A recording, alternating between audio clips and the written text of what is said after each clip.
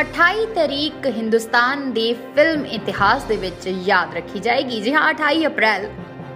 ਬਾਹੂਬਲੀ 2 ਦੇ ਰਿਲੀਜ਼ ਦੇ ਲਈ ਫੈਨਸ ਦੇ ਵਿੱਚ ਬਹੁਤ ਜ਼ਿਆਦਾ ਐਕਸਾਈਟਮੈਂਟ ਹੈ। ਤੇ ਬਾਹੂਬਲੀ ਦੀ ਟੀਮ ਵੀ ਫੈਨਸ ਦੇ ਨਾਲ ਨਾਲ ਖੁਦ ਐਕਸਾਈਟਿਡ ਹੈ। ਤੇ ਇਸੇ ਲਈ ਬਾਹੂਬਲੀ 2 ਦੇਖਣ ਲਈ ਬਾਹੂਬਲੀ 2 ਦੀ ਟੀਮ ਦੱਸ ਰਹੀ ਹੈ, ਦਫ਼ਤਰੋਂ ਛੁੱਟੀ ਲੈਣ ਦਾ ਬਹਾਨਾ।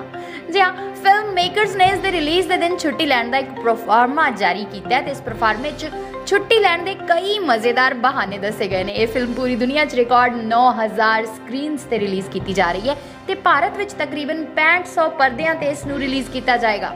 ਹੁਣ ਵੇਖਣਾ ਇਹ ਹੈ ਕਿ ਫੈਨਸ ਇਹਨਾਂ ਕੁਝ ਘੰਟਿਆਂ ਦਾ ਇੰਤਜ਼ਾਰ ਕਿੰਨੀ ਕੁ ਬੇਸਬਰੀ ਨਾਲ ਕਰਦੇ ਨੇ। ਆਖਿਰ ਹਰ ਕੋਈ ਜਾਣਨਾ ਚਾਹੁੰਦਾ ਹੈ ਕਿ ਕਟੱਪਾ ਨੇ ਬਾਹੂਬਲੀ ਨੂੰ ਕਿਉਂ ਮਾਰਿਆ?